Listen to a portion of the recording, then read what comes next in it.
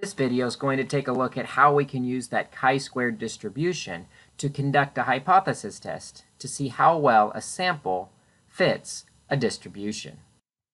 For the goodness of fit test, we're really checking to see if someone claims a distribution has such and such a percent in each category, we're going to test if those percentages are correct. We're going to test if the claimed distribution matches what our sample results are. So the null hypothesis in all of these cases will always be that the population fits the distribution described. The alternative hypothesis is that the population does not fit the distribution. And similar to our test for independence, this will be a right-tailed chi-squared test with the number of categories minus 1 degrees of freedom. Let's take a look at an example. Last year, a labor union listed the five categories of most importance to their members. This year, they conducted a sample to see if the distribution still holds true. We're going to test this claim at the 0.01 level of confidence. So you can see the five categories with the percent last year that supported it, and the number this year out of the sample. Let's go to Excel to calculate this. I've copied the data here, and you can see I've highlighted the number this year column. That's the number that came from the sample. That's really our observed frequency. What we're missing for a chi-squared distribution is the expected frequencies. The way we can calculate the expected frequencies is we'll consider the total of the observed and the percents from last year to see what should have happened. So if I say equals sum, add up the observed from last year and hit enter, we see 500 people were interviewed this year.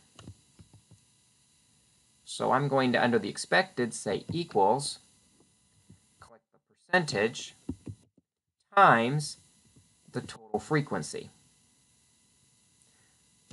Actually, I'm going to just type in the 500 because I don't want that cell to move when I drag the formula. So we'll say equals to the percentage times the total of 500, and we see we would have expected 20 to say vacation was the most important. Doing the same thing all the way down by clicking and dragging the dot, we end up with the expected frequencies for each categories. To calculate the chi-squared, remember we have the formula that says we take the observed minus the expected squared divided by the expected value. Let's do that in our formula. We'll say equals, parentheses, click the observed, minus, click the expected, close the parentheses, squared with shift 6 to get our little caret, then the number 2, divide by, and click the expected again. Now I can click that bottom corner and drag that dot all the way down And we know that our chi-squared is equal to the sum of all of those numbers. Equal to the sum, and then I'll select all these numbers. We also need to identify the number of degrees of freedom. Remember, the degrees of freedom is the number of categories minus 1. We have five categories, so we have four degrees of freedom.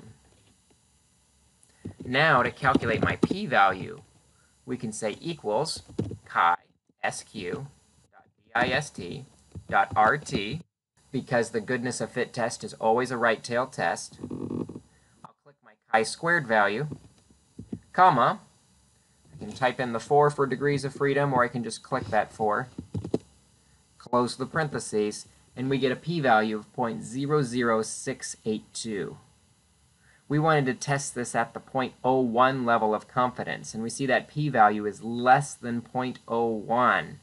That means we're going to reject the null hypothesis in favor of the alternative hypothesis. With the goodness of fit test, the null hypothesis was that the distribution, that these percentages were correct. But because our p-value is small, we reject that and conclude that distribution, the percentages, are incorrect and they no longer hold true. That's our chi-squared goodness of fit test.